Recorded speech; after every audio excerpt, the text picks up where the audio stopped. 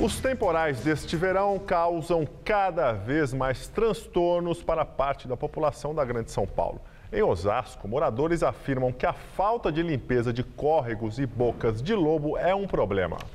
E aqui na capital, áreas já conhecidas como pontos de alagamento continuam sendo tomadas pelas enchentes.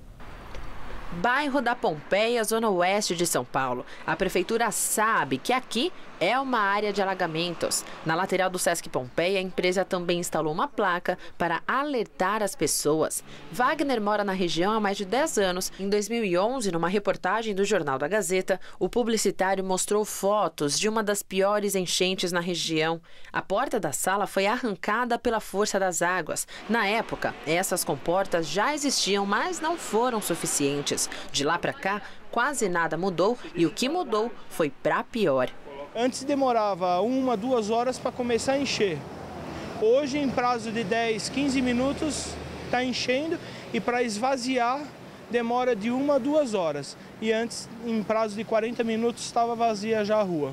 Aqui em Osasco, na Grande São Paulo, moradores do bairro Rochedale sofrem com as enchentes a cada chuva forte. Há mais de 10 anos, este piscinão foi construído justamente para amenizar os impactos das enchentes. Mas isso não acontece e agora o bairro é conhecido como Roche d'Água. Terezinha, de 51 anos, precisou mudar a estrutura da própria casa para conter a água das enchentes. Na semana passada, a situação ficou crítica por aqui. Essas fotos mostram como ficou a casa durante o temporal. A água invadiu a residência e agora Terezinha só lamenta os prejuízos.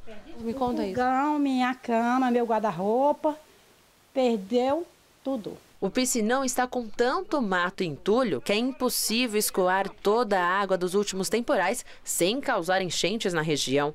Pelas ruas do bairro é fácil encontrar sujeira acumulada, córregos tomados pelo mato e bocas de lobo entupidas. A população diz que os serviços de limpeza desses locais não são realizados em Osasco há anos. E as famílias estão aí, como vocês veem, eh, perdendo tudo por falta de manutenção do piscinão e também das bocas de lobo.